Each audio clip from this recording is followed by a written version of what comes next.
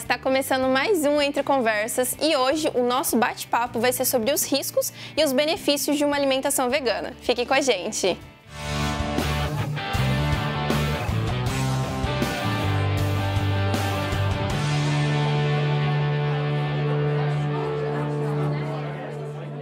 Você é ou conhece alguém que é adepto à alimentação vegana? Existe mesmo uma diferença entre o veganismo e o vegetariano? É sobre isso que nós vamos falar hoje. Ter uma alimentação baseada apenas em legumes e cereais pode trazer benefícios, mas também alguns riscos. Por isso, a prática alimentar deve ser muito bem planejada para evitar desequilíbrios nutricionais. E quem conversa com a gente hoje é a Veridiane Cruz, que é nutricionista funcional e vai falar um pouco mais sobre alimentação vegana. Tudo bem, Veridiane? Seja bem-vinda. Olá, tudo bem?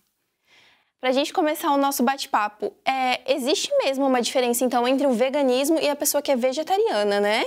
Sim, existe, né? O vegano ele tem como assim um preceito, um, uma escolha de vida em não utilizar, né, nenhum produto de origem animal ou até mesmo consumi-los, na verdade, né? Então é um estilo de vida. A pessoa realmente procura evitar ao máximo possível.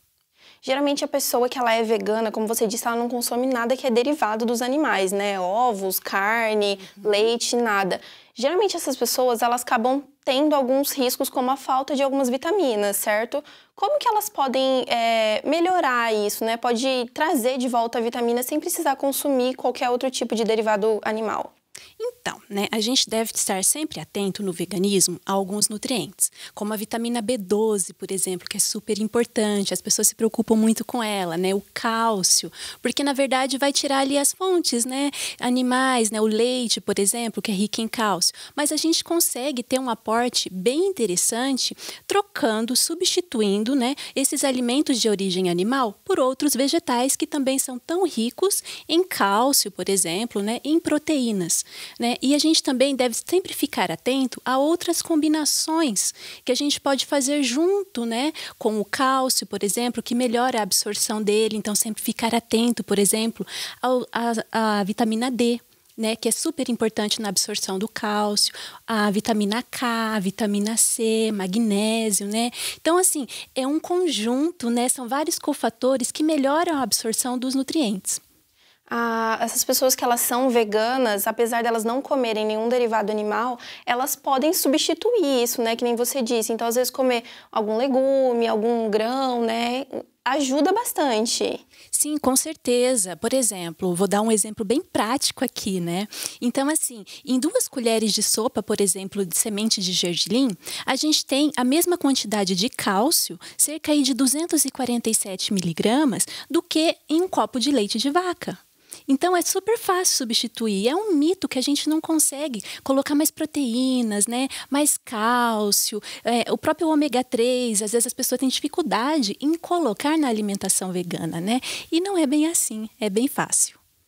É, a gente tem algumas, algumas lojas aqui, alguns restaurantes aqui em Maringá mesmo, que elas já são preparadas para quem é vegano e vegetariano, né? Então a gente consegue ver bastante que é fácil substituir um, uma alimentação, né? Sim, hoje, é, tanto da parte da indústria, né, com a parte até mesmo de suplementação num segundo momento, mas principalmente aqui na nossa cidade, esse aporte de uma culinária, uma gastronomia mais saudável, é, e o veganismo também está bastante em alta, como vegetariano, né? Então, é muito fácil. Não há necessidade da pessoa ficar né, sofrendo de carências. Então, acaba sendo um mito isso. O vegano, ele usa bastante pratos coloridos, né? Ele consome muitos pratos coloridos, porque, igual você falou, tem muita coisa que pode substituir e isso pode trazer muitos benefícios à saúde, né? Com certeza, é, principalmente para nossa flora intestinal, né? Então, a flora bacteriana de um vegano, ela é muito mais propensa a ter bactérias saudáveis. E essas bactérias saudáveis, elas produzem metabólicos, né, que vão favorecer ainda mais a nossa saúde. Então, previne problemas cardiovasculares, aterosclerose, por exemplo, risco de resistência à insulina, diabetes tipo 2. Então, é uma doença que a gente usa muitas vezes no consultório como prevenção ou até mesmo tratamento de quem já desenvolveu esses tipos de doenças. Então existem muitos benefícios para a nossa saúde, né? A pessoa ela pode ser adepta ao veganismo ou vegetarianismo que ela não vai ter problema nenhum. Ela pode ter essa substituição através de outros alimentos, né? Ela não vai ter muita falta, a não ser as vitaminas, mas ela pode estar substituindo.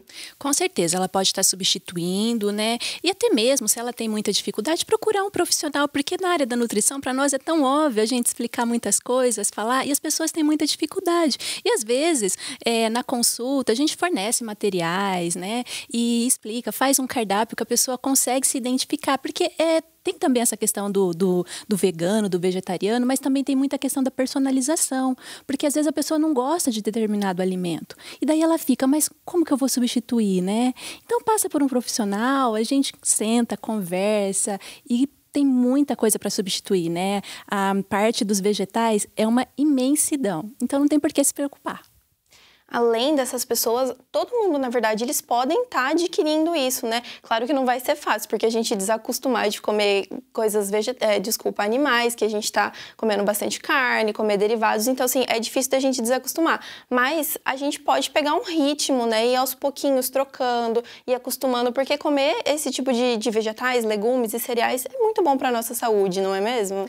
Com certeza, né? Quem está pensando aí, né, em ser adepto, começar então pelo vegetarianismo, né, e partindo depois futuramente para um vegano mesmo que não vai consumir nenhum tipo de animal, pode começar inicialmente, então por semana, diminuindo um pouco a carne vermelha. Então tem aquela opção de fazer a segunda sem carne, né, que é bem interessante. Três vezes na semana, por exemplo, colocar as carnes vermelhas, né?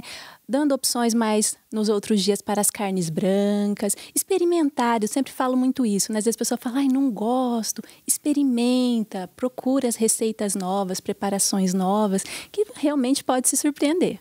E hoje em dia também na internet a gente consegue muitas receitas que são facinhas, né? A gente consegue encontrar muita coisa que envolve isso para já acostumando, preparando a pessoa que quer entrar no veganismo, né? Com certeza. Hoje a internet é um vasto, né? Ali tem um monte de receitas, né? E muitos profissionais também. Eu também gosto também de passar também muita receita e passo também muita receita para mim para os meus pacientes. Então, assim, não tem por que se preocupar, né? Tem muita coisa que dá para fazer. Aqui em Maringá eu conheço um restaurante que eles fazem uma coxinha que é, assim, eu achei inovadora, que eu não estava acostumada, que é a coxinha de jaca, né? E eles falam que fica muito parecido com frango. Então, quem está nesse processo de ir para o vegetarianismo, para o veganismo e para o vegetariano, nossa, consegue consumir e não vê diferença, né? E a jaca também ela é muito saudável. Com certeza, tem diversas preparações que na combinação já é pensado para ter uma melhor absorção de nutrientes, né? Então, aqui em Maringá está muito em alta isso. Então, para quem está pensando, não tem por que não dar os primeiros passos, né? Sim. Tá certo, Veridiana. Muito obrigada pela sua participação. Foi um prazer receber você e gostei muito que você veio aqui e trouxe todos esses esclarecimentos pra gente. Eu que agradeço pelo convite. Foi um prazer estar aqui. Se alguém quiser procurar você nas redes sociais, falar sobre a nutrição e sobre as alimentações veganas, pode estar procurando você no Instagram. Sim, é Veridiane Cruz Nutricionista. Ah, tá certo então. E o Entre Conversas vai ficando por aqui e eu encontro vocês no próximo programa. Até lá!